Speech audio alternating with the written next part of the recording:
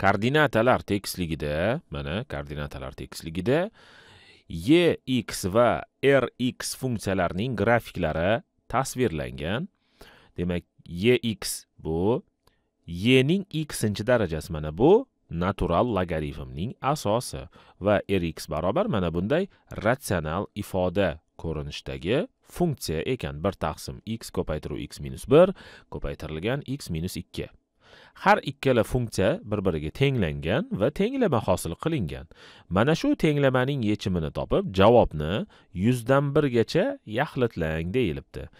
Grafikka e'tibor beradigan bo'lsak mana bu och yashil rang bilan demak eksponensial funksiyaning grafigi berilgan mana bu y ning xinchi darajasi va mana bu to'q rang bilan esa rx funksiyaning grafigi berilgan va rx funksiyaning grafigi o'z navbatida bo'laklardan iborat ekan ya'ni uzilish nuqtalariga ega.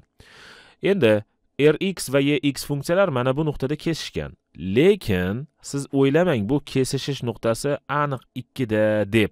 Chunki bu ikki hozir rx funksiya uchun vertikal asimptota hisoblanadi ya'ni ikki nuqtada ya'ni x ning qiymati ikkiga teng bo'lganida bu funksiya yechimga ega bo'lmaydi. To'g'rirog'i e, aniqlanmagan bo'ladi. Vertikal asimptotasi bor ya'ni chegarasi bor. Biz mana bu kesishish nuqtasini taqriban hisoblab eng yaqin qiymatini topamiz va yuzdan birgacha yaxlitlab qo'yamiz. Demak biz grafikka qarab turib bu ikkita chiziq aynan mana shu nuqtada kesishgan ekan deb xulosa chiqarmasligimiz kerak birdaniga. Biz ma'lum bir hisob kitoblarni amalga oshiramiz. Hech bo'lmasa taqribiy hisob uchun ham. Demak biz ex funksiyani tenglagan ekanmiz mana bu yerda. Rx funksiyaga mana rx funksiyaga. Endi ma'lum bir qiymatlarni qo'yamiz dedik. Kichik mana bunday jadvalcha hosil qilib olamiz. Birinchi ustunga x ning qiymatlarini yozamiz ikkinchi ustunga yx ning qiymatlarini yozamiz va uchinchi ustunga rx ning qiymatlarini yozamiz demak mana. X ikkinchi ustunga yx funksiyaning qiymatlari va uchinchi ustunga rx funksiyaning qiymatlarini yozamiz. Eng avval x ga qiymatlar berishimiz kerak. Ikkini bera olmaymiz demak aytib o'tdik. Chunki ikki bu yerda. Rx funksiyaning vertikal asimptotasi demak ular ikkiga teng bo'lgan nuqtada kesishmaydi. Keling eng avval ikki butun o'nda birni beramiz. Ya'ni x larning o'rniga ikki butun o'nda bir qiymatni beramiz. Taxminan demak mana bu joy. Ikkidan biroz o'ngroqdagi joy. Hozir ko'rinadigan rangda qilaylik. Mana deylik mana bu nuqta. Va biz shu nuqtani tepaga olib chiqamiz. Taxminiy ularning kesishish nuqtasiga boradi. Mana bu yerga boradi. Va y ning qiymati ham kelib chiqadi. Y ning qiymati ham hozir aynan yetti yarim emas balki yetti butun olti yetti butun sakkiz yoki to'qqizdir. Bilmaymiz. Uni hozir mana bu yerdagi hisoblashlardan topamiz. Bu chiziqlar taxminiy chiziqlar hisoblanadi yoki yordamchi chiziqlar deb turamiz. Demak x ning o'rniga ikki butun birni qo'yganimizda x funksiyaning qiymati nimaga teng bo'ladi? Kalkulyator yordamida hisoblaymiz aniq qiymatni olish uchun. Mana x ning o'rniga ikki butun birni qo'yganimizda y ning darajasida ikki butun bir nechaga teng bo'ladi?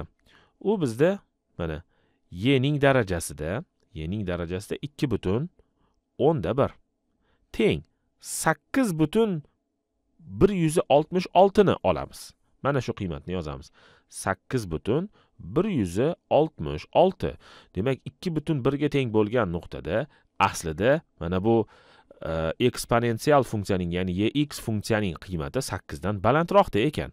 Aytib o'tdim bu chizmalarda biroz e, aniqlik qiymatidan og'ish bo'lishi mumkin va bu tabiiy holat. Endi rx ning qiymatini topamiz. Xuddi shu nuqtada. Bir taqsim deb yozamiz mana bir taqsim qavsning ichida. Mana bu x ikki butun o'nda bir ikki butun o'nda bir ko'paytirilgan ikki butun o'nda birdan birni ayirsak bir butun o'nda bir chiqadi.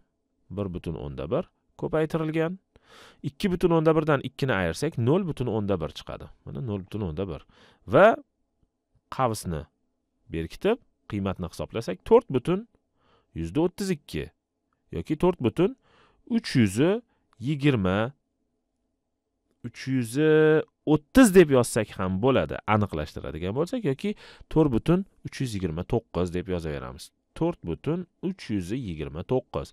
Demak ikki butun birga teng bo'lgan nuqtada rx funksiyaning qiymati y ya'ni mana bu nuqtada ekan.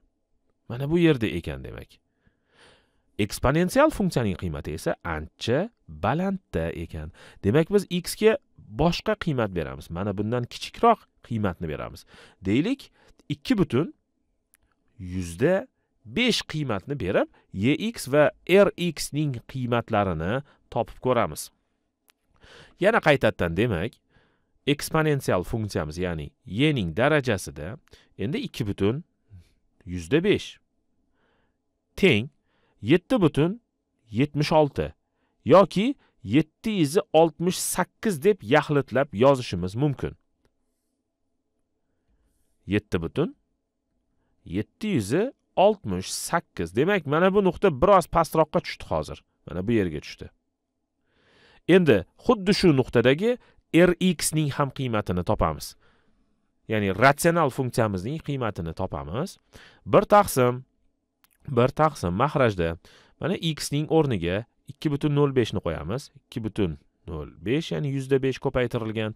ikki butun yuzda beshdan birni ayirsak bir butun yuzda besh hosil bo'ladi yoki bir butun nol besh va ko'paytirilgan. ikki butun nol beshdan ikkini ayirsak nol butun nol besh hosil bo'ladi va qavsni berkitib qiymatni topamiz. to'qqiz butun yigirma to'qqiz yoki ikki yuz to'qson bir deb yozamiz. To'qqiz butun ikki yuz to'qson bir. to'qqiz butun ikki yuz to'qson bir. Mana buning qiymati ortdi ya'ni rx yuqoriroqqa ko'tarildi. X esa biroz pastroqqa tushdi. Demak bu yerda endi biz keyingi bosqichda mana bundan biroz kattaroq qiymatni olishimiz kerak bo'ladi tekshirish uchun. Ikki butun yuzda yettini olib tekshirib ko'ramiz. Yana xuddi shunday hisoblashni amalga oshiramiz. Eksponensial funksiyadan boshlaymiz.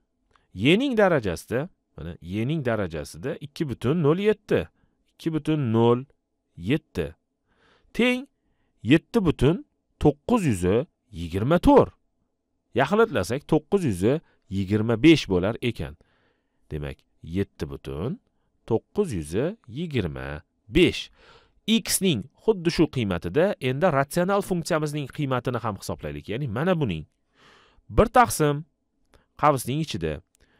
Eng avval mana x ning o'rniga ikki butun nol yettini qo'yamiz. Ko'paytiramiz ikki butun yuzda yettidan birni ayirsak bir butun yuzda yetti hosil bo'ladi va uni ham ko'paytiramiz ikki butun yuzda yettidan ikkini ayirsak nol butun yuzda yetti hosil bo'ladi. Qavsni berkitamiz ya'ni mahrajni hisoblab oldik va olti butun qirq to'rt yoki olti butun qirq beshga teng bo'ladi deb hisoblashimiz mumkin. Olti butun qirq besh. Endi mana bu qiymatlar bir biriga ancha yaqin keldi. Ya'ni yetti butun to'qqiz yuz yigirma besh bilan olti butun qirq besh bir biriga yaqin qiymatlar ekan ya'ni oralig'i juda ham kichik bo'lgan. Mana bunday oraliqdagi qiymatlar. Yo'q biroz pastroqda chizishim kerak. To'g'riroq bo'ladi chunki mana olti butun qirq besh hozir mana bu yerda. Olti butun qirq besh. Yetti butun to'qqiz yuz yigirma besh esa mana bu oraliqda ekan. Demak o'z o'zidan biz yuzda bir aniqlikda hisoblamoqchi bo'lsak endi ikki butun yuzda oltini qo'yib hisoblashimiz kerak. Ikki butun yuzda olti shunda shu ikkalasining oraliqdagi qiymatini beradi. Keling tekshirib ko'ramiz shuni ham. Avval eksponensial funksiyaning qiymatini hisoblaymiz. Ikki butun nol olti uning qiymati mana ko'rib turibsiz. Yetti butun sakson to'rt. Endi ikki butun nol oltini ratsional funksiyadagi x larning o'rniga qo'yib hisoblab chiqamiz. Bir taqsim qavsning ichida ikki butun nol olti ko'paytirilgan. Mana bu qavs. Ikki yu nol oltidan birni ayirsak bir butun nol olti hosil bo'ladi va ko'paytiramiz. Endi ikki butun nol oltidan ikkini ayirsak nol butun nol olti hosil bo'ladi va qiymatni hisoblasak yetti butun oltmish uch. Demak bir biriga yaqin kelgan qiymatlar ekan. Shuning uchun ham agar yuzdan bir aniqlikda e, tenglamaning yechimini oladigan bo'lsak mana shu qiymatni olishimiz mumkin ekan. Ya'ni ikki butun yuzda oltini olaveramiz shu tenglamaning yechimi sifatida. Albatta biz bu yechimni algebraik hisob kitoblar yordamida emas balki grafikda berilgan ma'lumotlardan foydalanib x ning o'rniga taqribiy ya'ni kesishish nuqtasiga yaqin bo'lgan qiymatlarni qo'yish orqali topdik.